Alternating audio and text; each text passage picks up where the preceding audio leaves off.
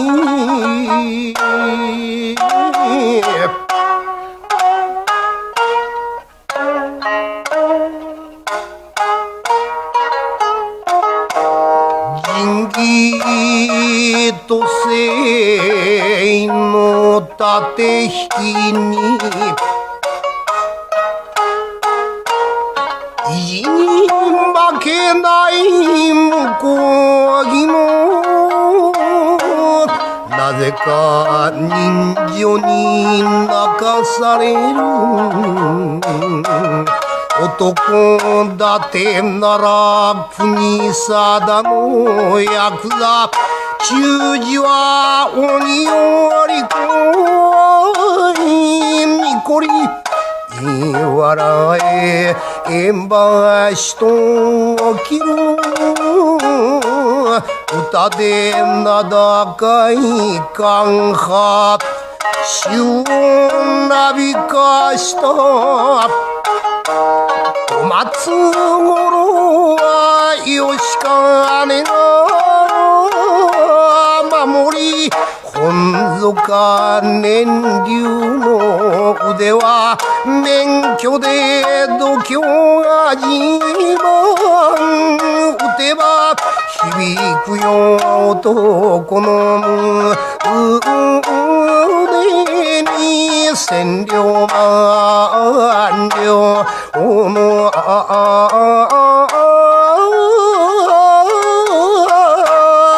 音がする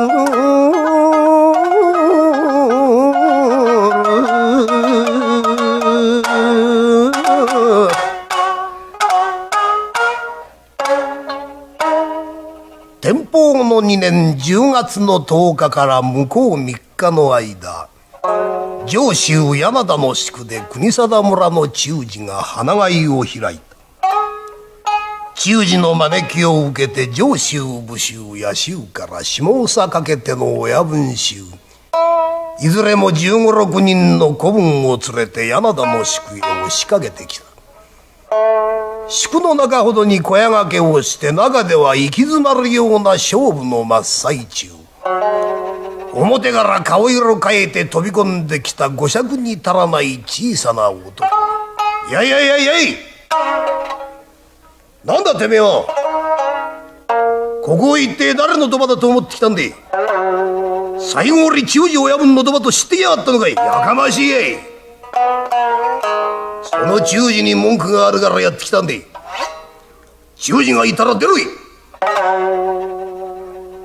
お訳のお尋ねの中じゃ俺だが俺に話があるってんなら聞こうじゃねえか。まあ落ち着いてゆっくり話をしてみたらどうだい？おめえかい中次って男は他でもねえが島村伊三郎の兄弟分で福井の勘蔵って男がまだこの世に生きあることをよもやお忘れじゃござんすめえな。なるほど。島村伊三郎の兄弟分で福井の勘蔵って男がいたっけな。いたっけなじゃ済まされめえ。おめえが伊三郎のおじきを切った時にうちの親分が元気でいたら黙って見ている人じゃねえ。三年越しの長患い。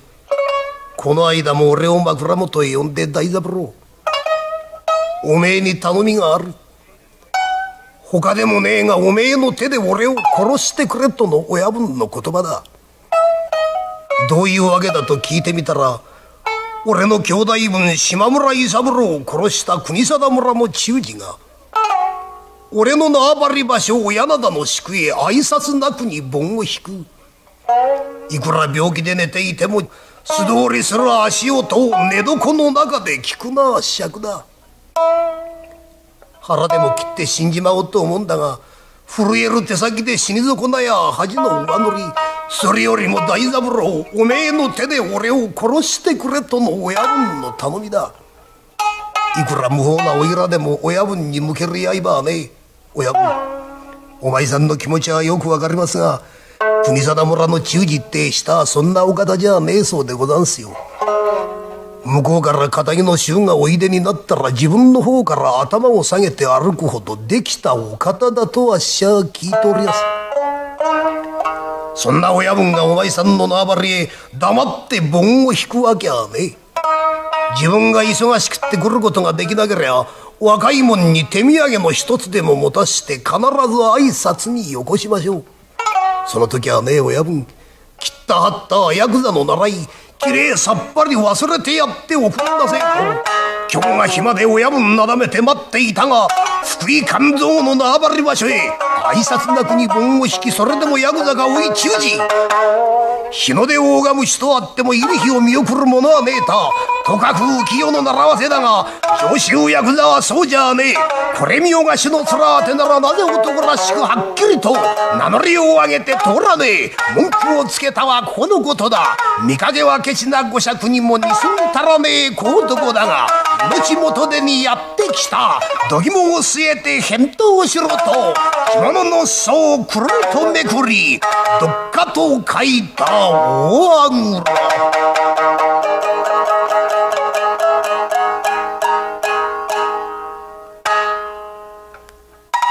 腕こまねて聞いて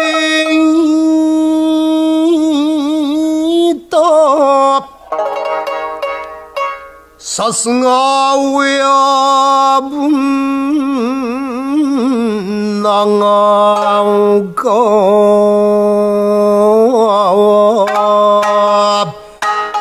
上州一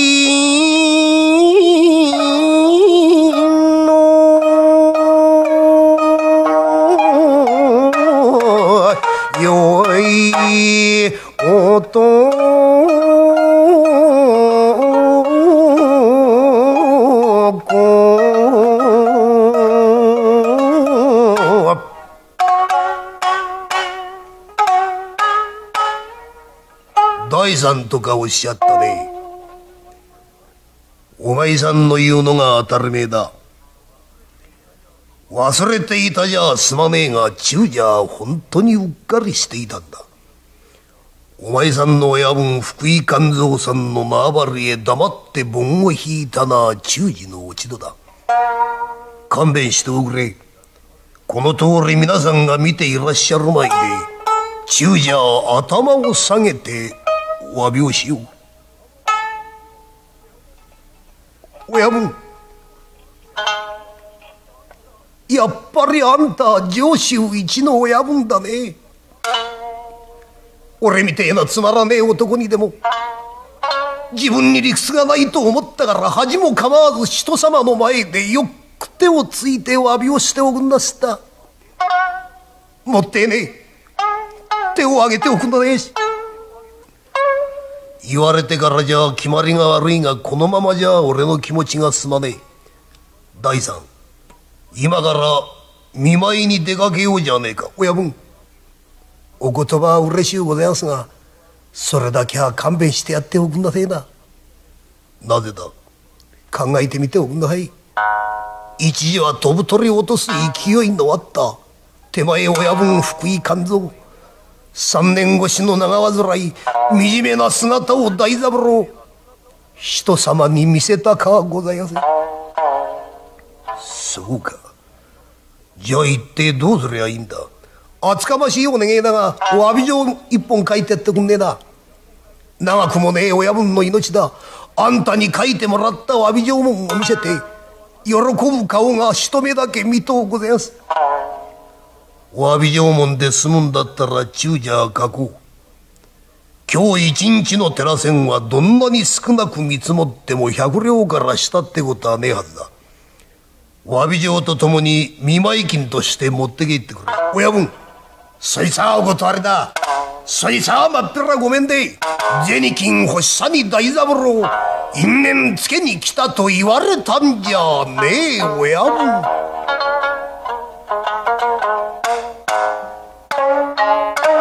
野暮な遠慮しなさな。病気で寝ている肝臓の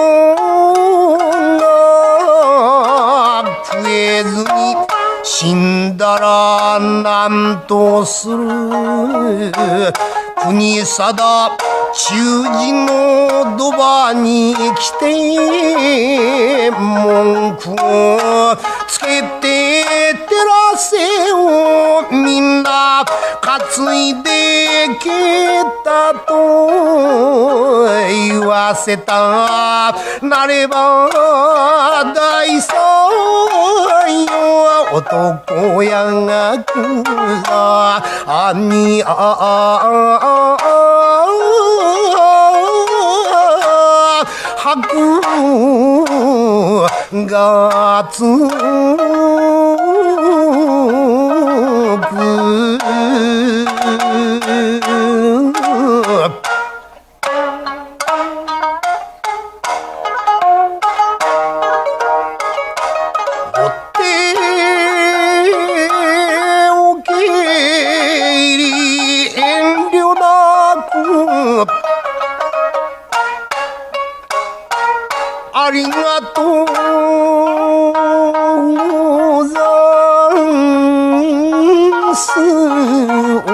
親分と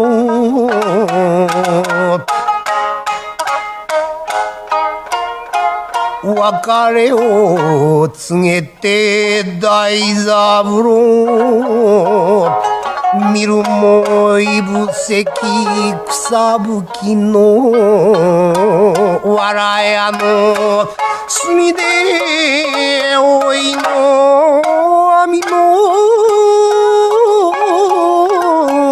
一人安ろ親分の喜ぶ顔がはよ見たや。心も空にいそいそとたどる小道で日が暮れる。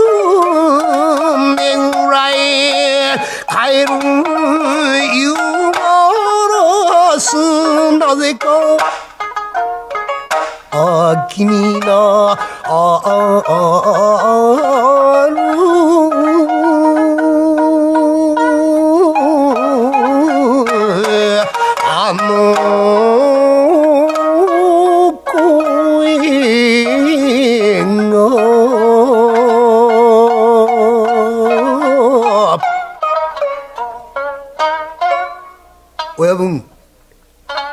今帰ってまいりました。大三郎でございます。遅くなりましておよ。なんで？まだあんのに火が減ってねえな。そうか。俺がつけなきゃ誰もつけてくれてはなかったんだな。申し訳ございません親分。今すぐ証を入れますから。お親分！寝床の中はもぬけのからはっと驚く大三郎。横にあった塩ロボを木に安堵の油。それに火をつけ松明が割り心にかかるは裏口の井戸中のぞいた大三郎。しまった！親分！しばしぼんやり佇んでいたがかくては果てじと気を取り直し縄橋も伝って降りる井戸の底冷たくなった親分をようやく担ぎ上げた床の上胸に手を当て顔差しのぞいて親分。大三郎だ親分親分。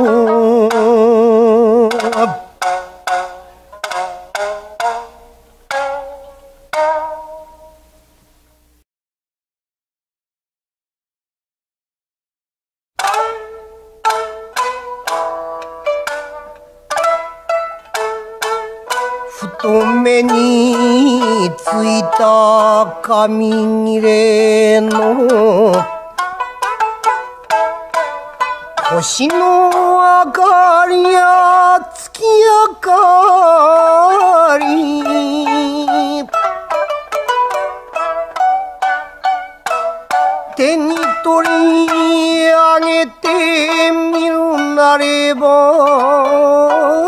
この世の縁も薄みで台座に当てた書き置きの俺も名代の上州役だ。女房に死なれた弱り目について回るはたたり目の足腰たたんこの体人に見られて口をしや。古文の者は堺とま世にも人にも見放され人情家によりまだ薄いヤクザと正に愛想が尽きた。寿命縮めて死んではゆくがたった一人残って煮炊きの世話から看病まで切っても切れない骨肉の親子の仲ならともかくの赤の他人がよもま愚痴もこぼさずしてくれた心づくしがしみじみとありがたいやら嬉しいやら今らやめて大が風呂前に熱くれよよ俺が今に頼みがクザ家業は強行限り足洗い木綿着物に角帯締めて小秋ないでも秋うどのどうぞ肩になってくれと読み終わったる大三郎。親分。よくわかりやした。大三郎あんたの遺言を守って仇になりますだがね親分。俺が帰ってくるまでなぜ待っていてくれなかったんだよ。国定村の親分に書いてもらった詫び状文と見舞いの金をあんたに見せて喜ぶ顔が俺は一目だけ見たかったんだ。親分。俺が帰ってくるまでなぜ待っていてくれなかったんだよ親分。言っては見たが是非もない。冷たくなった親分の両手に金と手紙を握らして仏の体膝の上親分顔に斧が顔ピッタがと当ててはとばかりいにゃあ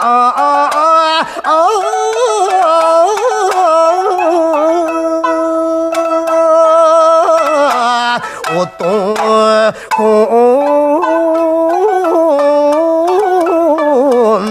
き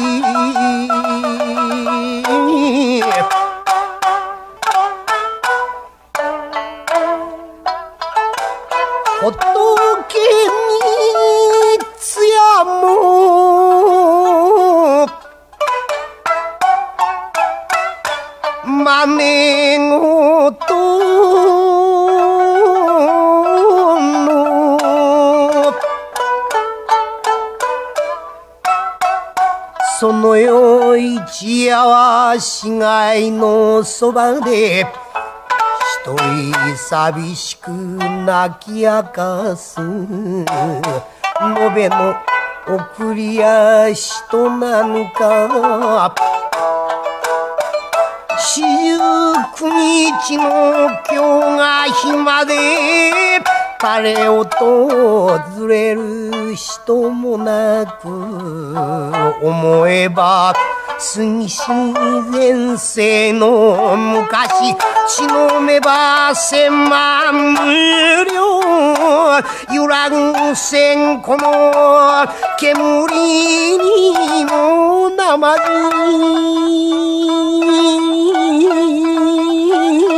涙がああああ先に立つ。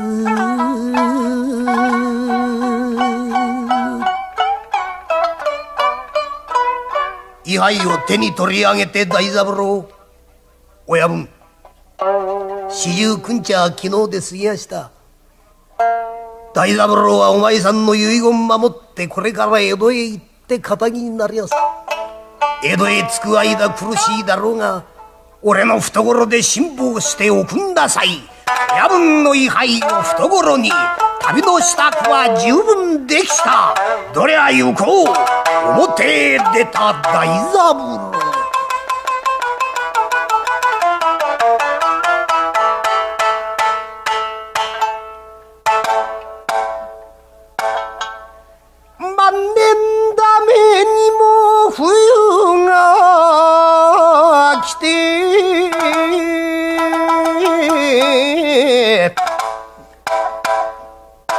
に春菜の山々に早くもかぶるわたぼ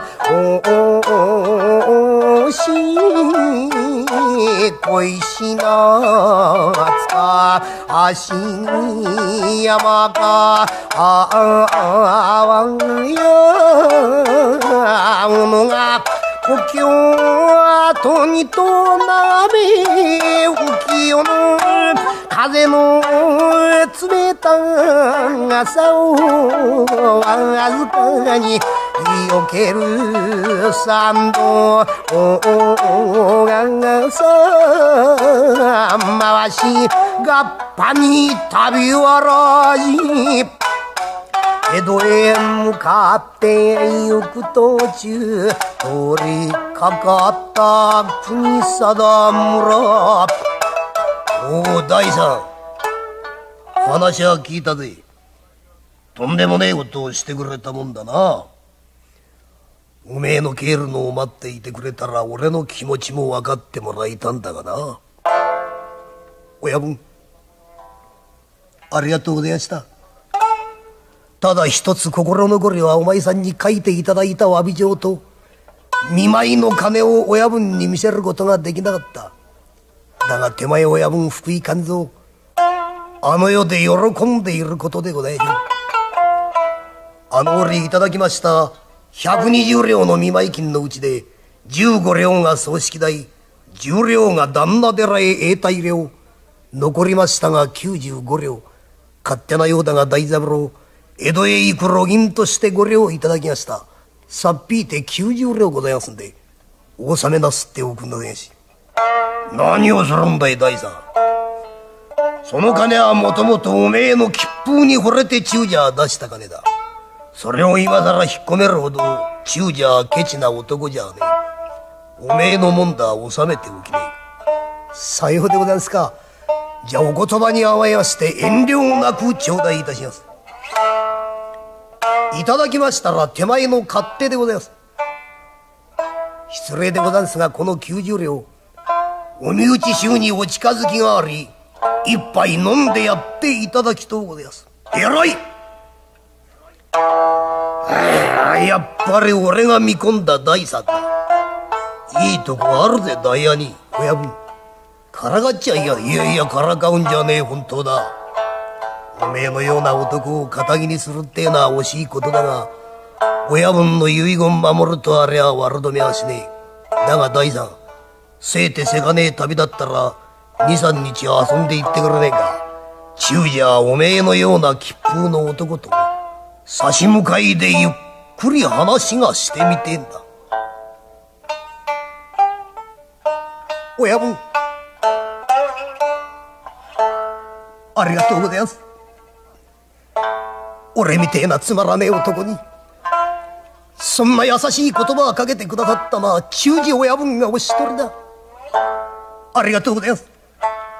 お言葉に甘えるようでございますが23日ご厄介になります。兄さん方何もわからねえ田舎者でございます。よろしくお願いいたしますで。初めて着せてもらった絹屋具の忠治の情けが身にしみてああいい気持ちだなと大三郎。昼の疲れが今出たのか白川よ船の高いいびき。にわかに騒いだ物事にガバと跳ね起き大三郎。さては喧嘩が間違いかと忠治の部屋へ飛び込めば三度三度の食事より慣れた喧嘩にしたく十分小松五郎義兼の中鞘つかみ。親分忠治が仁王立ち。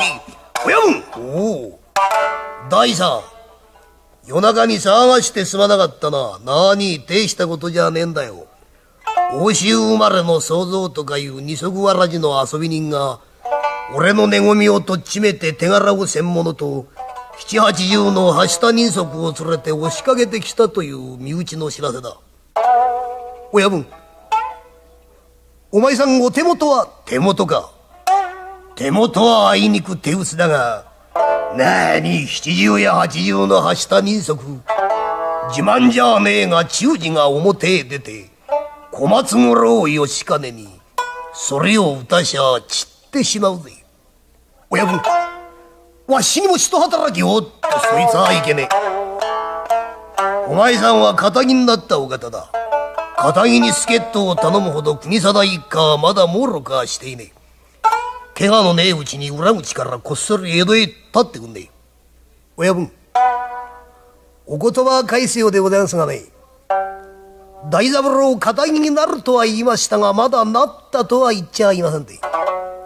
一宿一般の恩義を返すまでまだまだ大三郎は堅気じゃございません。出過ぎたようでございますがお先ごめんなすって待て。危ねえから出てはいけねえ。第三待つだ。おい。何をぼんやりしてんで。第三に怪我はちゃならねえ。後をつけろ。親分の言葉。国定身内が表に出た。遅れてならじと忠義親分同じく表。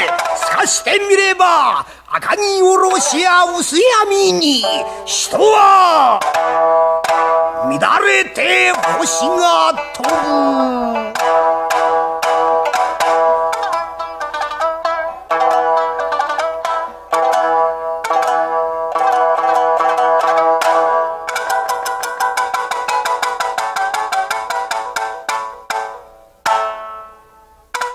国定村の松並木。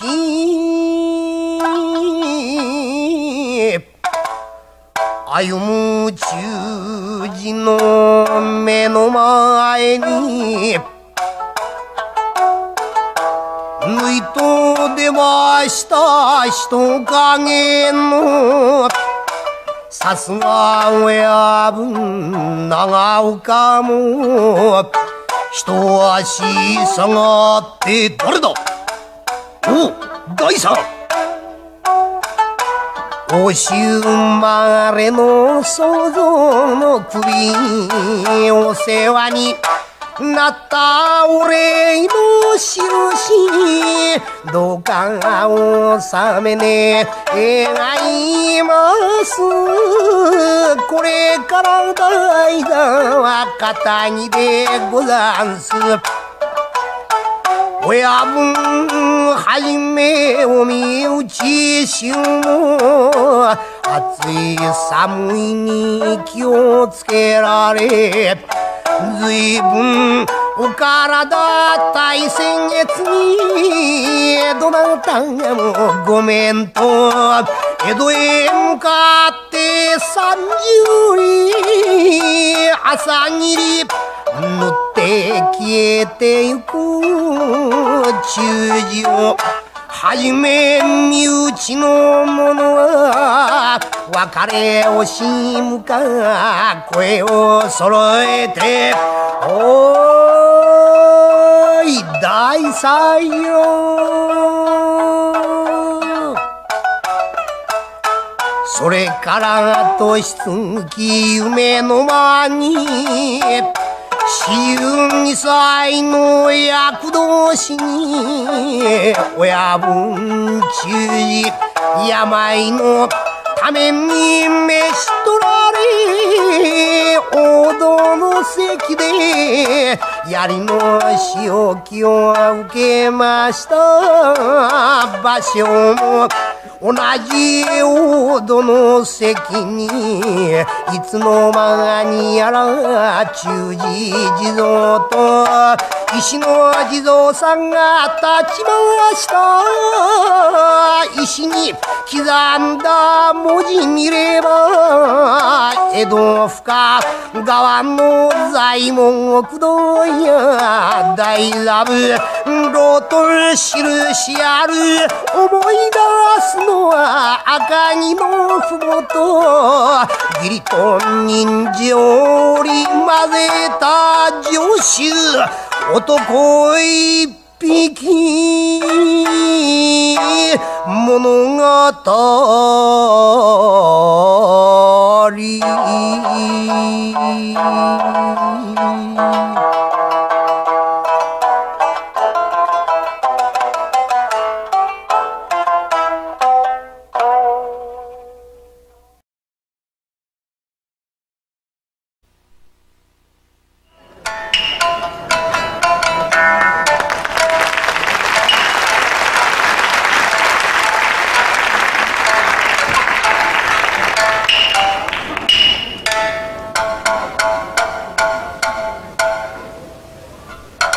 三木丸亀六万億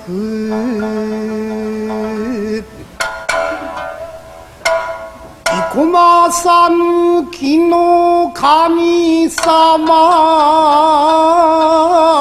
を浪人したる間がきの先生。ゲロドドヘともに連れ多度津の浜から船に乗る。西洋道まっすぐにやってきました。大阪の大阪町中回ってみたが出世も見込みさらにない。町人三部で武家七部武士の出世は江戸に上がりとまたも大阪後にして志すのは江戸表。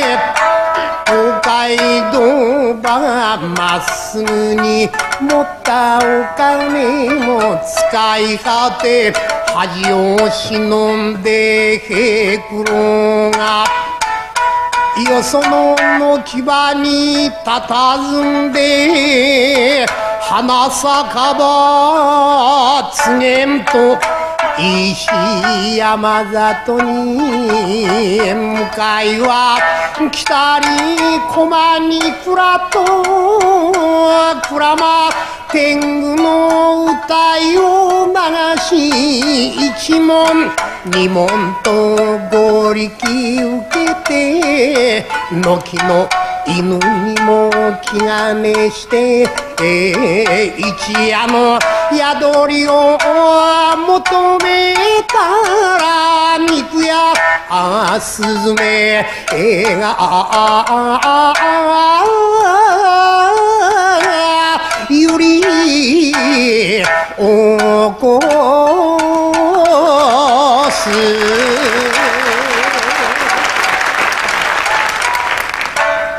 丸亀を出る時に20両という大金を持っていたんですけど大の男が何にもせんと宿へ泊まって飯食うんですからもうそら金がないのに早いことも金がなくなって仕方がないから今言ったようによその軒場つまり門付けをしながら江戸へ行こうともう東海道ずっとまっすぐ歩いてるうちにもうとうとう門付けだけの金では足らん飯も食えんから仕方がない間垣先生羽織を売ってしもた。ほんでそれでいっぺん飯食うて今度また飯食う金がない。今度は中元の土土兵が着物を売って裸の上にハッピー一枚だけや。もう何も売るもんがない。先生昼飯何売ろうか。何売ろうかってもうないじゃろ、ええ、すめんけど先生その刀売ってもらえめんか？刀は武士の魂じゃこんなものが売れるか？いやいや。中身は売らんでよ。ろしい外外だけ売ります外だけ。鞘だけ。鞘売って中身どうする？まさか抜き身で持って歩くわけにはいかんじゃない。ええー、大丈夫。任しとくんだ。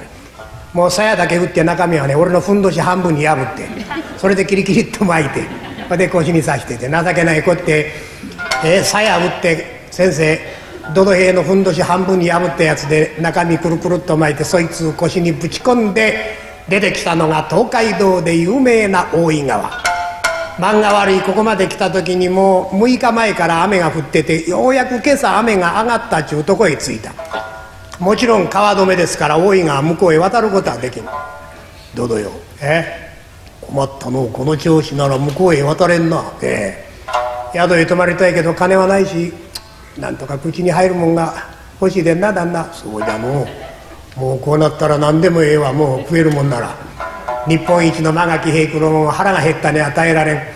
なんぞ食いたいなっちゅうてたら喧嘩だという声がした。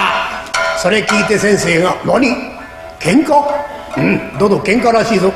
あの喧嘩仲裁して2人がいっぺん飯食おうかってよっぽど腹が減っとったりしやね河原喧嘩だっちゅうとこにでーっと走っていたら黒山のような人だかり人かき分けて中へ入ってひょっと見たら喧嘩と思ったらそうじゃない。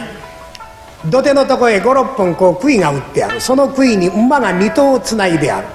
その1頭にまたがったのが 年の頃なら1718の若い衆が今大井川へめがけて飛び込もうとしたの馬に乗って。その馬の靴輪をしっかり取ったのが623の一人のとっつぁん。これせがれ。バカなことを言うじゃない。お前がこの川へ飛び込んでもこの大水でどうして向こうへ渡れるんじゃ飛び込んだら命はない。やめてくれんかいせがれ。皆さんどうぞ笑うとらんと止めてやってくださいと。とっつぁんが一生懸命止めてるやつをどどへが「ああとっつぁんとっつぁん。はい。えどないしたんや。何？うん。お前のせがれがんま乗って川へ飛び込む？飛び込んだら命がないから止めてる？で俺にも止めてくれちゅうんかい。よし止めたる。昔からお前頼まれたら越後から米付きちゅうことわざもあんねや。止めてくれちゅうて頼まれたら止めてやる。その代わり止めたったら飯食わすか？なんやこの人けったなって止めてさえいただければご飯ぐらいはなんぼでも。そうか。それを聞いて安心した止めたろ。そやけどとっつぁんお前ちょっと見たらお前まだ17やっちゃないかい。こんな若い石がこの大水にやな。川へ飛び込もうちゅうのは何か事情があるんと違うんかい?よかったらその訳いっぺん聞かせてくれ。はい。よう尋ねくださいました語ればみんな涙の種でございます。語ればみんな涙の種ってお前何も語らんさから泣いとるやねん。そんだけ泣きたいのやったら訳言うて後で一人でゆっくり泣けけったいな物言い方するそんならあんたのおっしゃる通り語った後でゆっくり泣かしてもらいます。私はこの川向かいの吉野村で名主渡辺五右衛門の作男でご助と申します。私の村は大井川には近いけど水に不自由なそのために隣の村と私の村の境に一つの池がある。二つの村に一つの池でなんで十分水がありましょう。毎年毎年水取りの掛け馬をして勝った村が先へ田んぼへ水を引く。負けたその村が余った水で田植えをする。負けたその村必ず不作不幸なことに私の村は4年続いて負けました。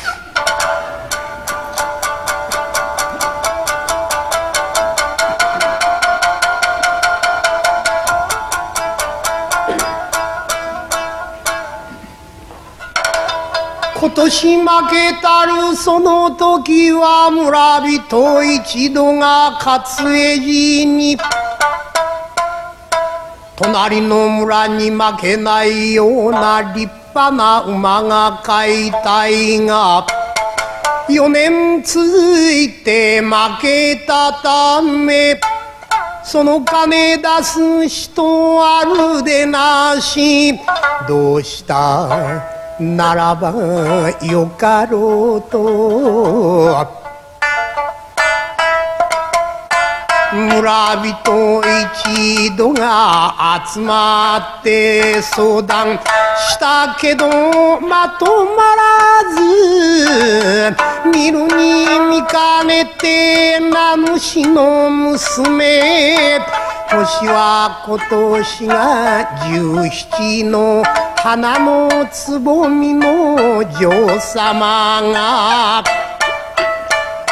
二年の年末遊郭で前借なした五十両その金を村人前に並べられこの金持ってめばを求めかけまに買ってください。お願いです。勝つも負けるも時の負けたからとて恨みはせぬが。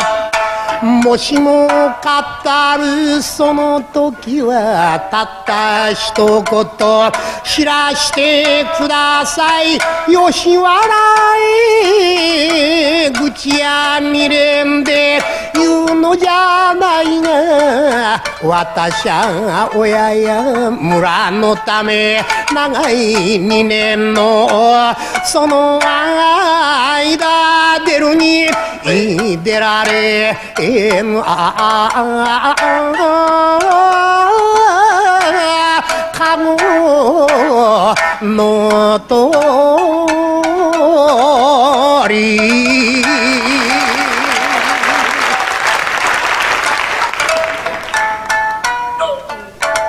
金は五十両できたけど馬買う役は誰が行くと言われた時に旅の人詩人の娘が二年の苦労下男の私が何で黙っておれますかいな。旦那さん馬買う役は私がとお引き受けして家へ帰ってせがれに話をしたら親孝行なせがれでとっつぁん。お前は年を取って一人旅は寂しいじゃろう。わしも一緒に行ってやる。そうか。そんならお前来てくれるかとせがれを連れてやってきたのが終わりの国。名古屋で有名な清須の舞地。あれかこれかとま定め選び出したるその馬は遠く離れた九州の霧島山のそのふもとで生まれて今日までまだ一度も負けたことない耳白に半月という二頭の名馬を三十五両で買い求めこれさえおったら大丈夫と喜び勇親子連れようよう戻った大井川いかなる天満のいたずらか六日続いて降ったためこの川。向こうへ渡れない骨。かけま十五日。今日は極月十三日。中一日の余裕ではとてもこの川渡れない。どうした？なればよかろうと。案じていたならこのせがれが女王様心は無にできないぞ。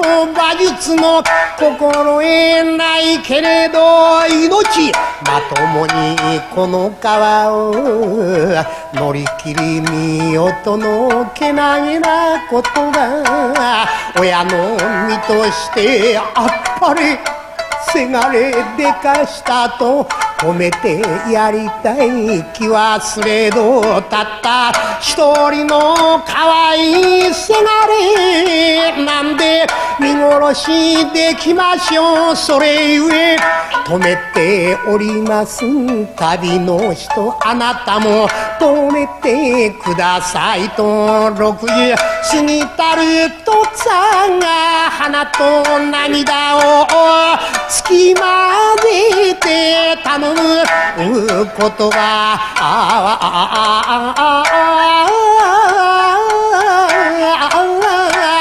親がごこ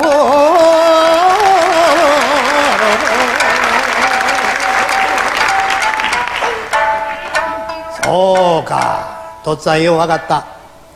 かわいそうなこっちゃ。よう分かったで。お前が泣いて頼むのも無理ない。止めてくれと大きな声で怒鳴るのも無理ないよ。分かった。早い話がやな。誰でもええからお前のその馬に乗ってやな。大井川向こうへ渡ってお前とこのその隣の村と競馬して買った方が先田植えがでけてで米がぎょうさん取れたらそれで文句ないねやろお前。言いにくされこのアホ。人がもうこの暑いのに。何は節まで入れて話しとる。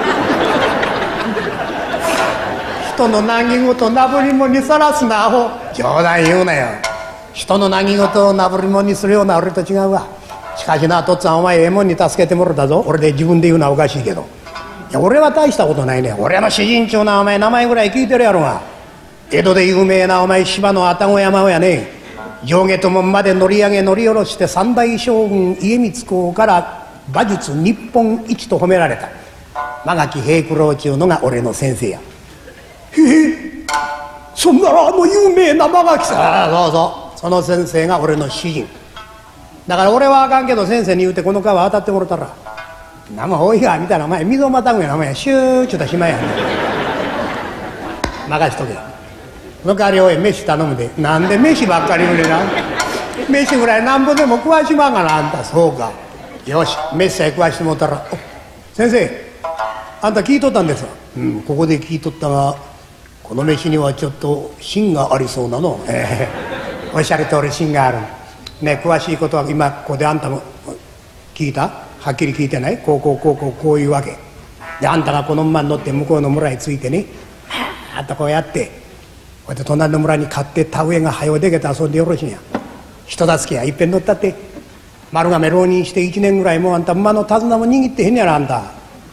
なあ久しぶりや。小手調べ。行こう大井川。さっと行こう。さっと。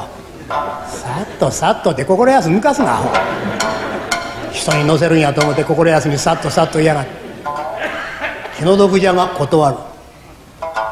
断る？うん断る。考えてみ6日前から降り続いた雨のため水だけではないぞ。水もすごいが水に混じって材木がものすごく流れてあんなもんがお前馬の日払いボーンと当たってみそれこそ一コロじゃ。飯も食いたいが命も欲しいわ。すまんが断る。意味でいいねんだ。ねえあんた間垣平九郎ちゅうたら日本一の馬術の先生やねんかおいがぐらいあんたそれ怖がってどないすんねやんだ。やっていきなはれあんた一つ。シューッとシューッと大井川ってそな広いことまへんねんでたった1里しかないね水面が。わかる？2里の半分。分かっとるわそんなことは。ねえ頼ますお願いします。久しぶりの小手調べで一つ俺の男を立てると思って一つお願い。ダメじゃ何と申しても愛ならん。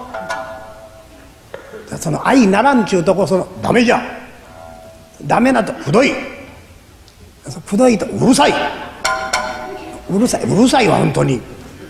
日本と申すのああそうかいそうかい。俺がこれほど頼んでも乗らんちゅうか。ああもう頼まん。もう頼まんわい。何かしてけつかんね俺がお前のためにこうやってついてきとんのは何のためじゃ。俺が丸亀でお前青井源三郎ちゅう侍怪我さして中元のくせに侍を怪我さすとは何事じゃ。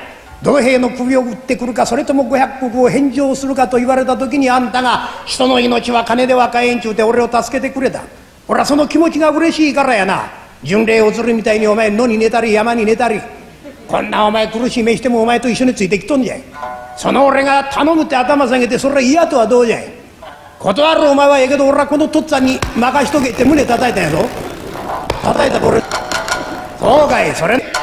これだけ頼んでも嫌ってなら俺はもう頼まんわい。たかだか知れた大井川俺が一番乗ってやると言うのも通り下郎どど兵となってはいるがまこと正せば筑後柳川11万と八千石立花左近将軍殿の馬術の指南で800石寛永三馬術の一人と言われた向井クランド清直のなれの果て間垣が編み出した敵がくれ玉がくれ二つの極意を盗むため3年前から下郎となって入り込んで苦心をいたすどど兵3年の間に盗み取ったる二つの極意を今大井川で見せてやったら定めて平九郎驚くだろう。その顔を見るのが楽しみだと。やい間垣高田が知れた大井川。俺が一番乗ってやる。俺の腕前よく見ておけと。言ったと思えばどど兵着ていたハッピを後ろに脱いだ。時はいつなり大永7年12月13日。ところは七井の大井川みぞれ混じりの風吹く中にすっくと立ったどど兵丸の裸にふんどし一つそのふんどしも大阪で破った半分だった。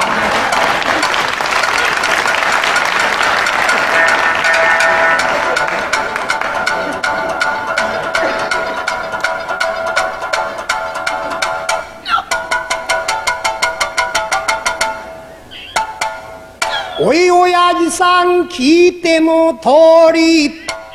一生懸命に頼んだがダメと分かれば定めて力を落とすだろう。だが心配するじゃない。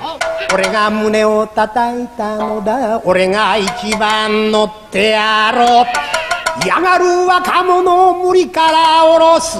耳白と名付けたる馬の腹帯締め直してしばらくじっと見ていたがえい！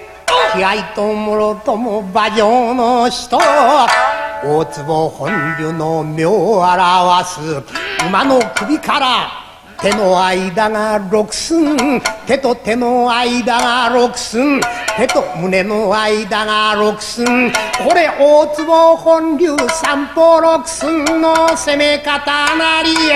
地のりをいたして足がため。はいはいはいはい。はいよ。手綱を絞った。あぶみを蹴った。坂幕道との大いの川へと飛び込んだ。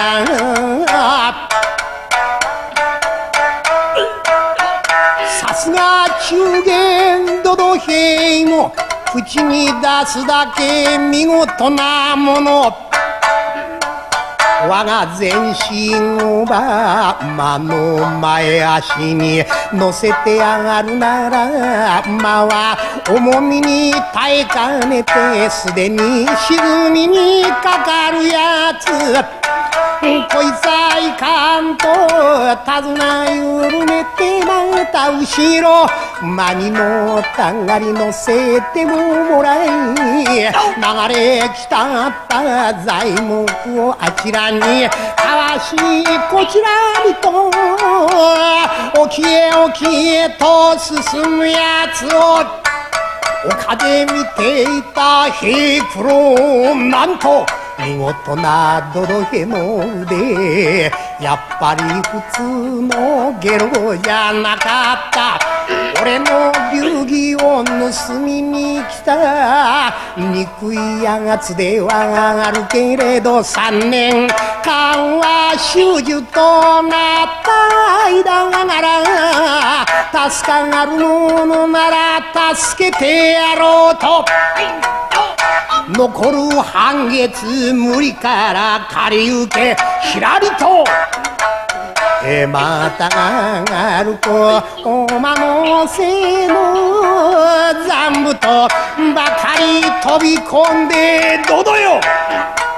待てよと進む様寿永の昔梶原佐々木の領有士があの宇治川の激流で先人争いしたやつを今目の前に見るごとくさすがは日本一の馬術家だが見る見る間に追いついてどどよ。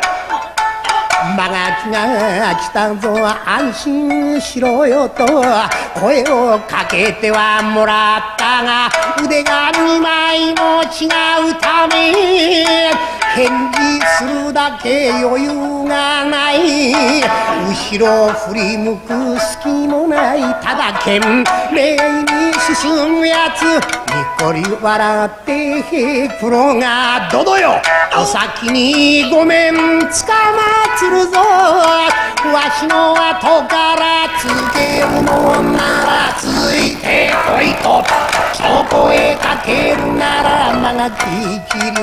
馬術の極意どのへ出し抜きぐっとへと出た時に流れ来たった大材木がどどへの乗った耳色の間の靴輪に当たろうとするやつ。ひょっと眺めて平九郎が。どどよ。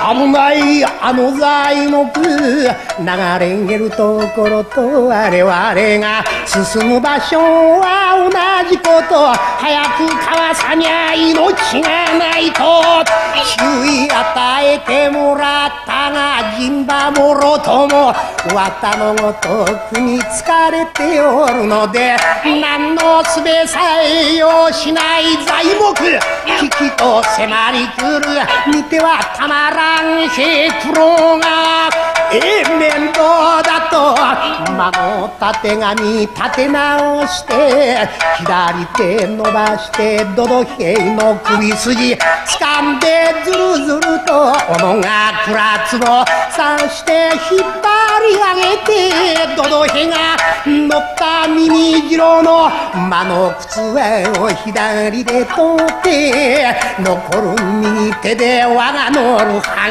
月二頭の駒の手綱をさばいて流れ来たがった大台の句際どいところでえいと一斉左とか合わしたが材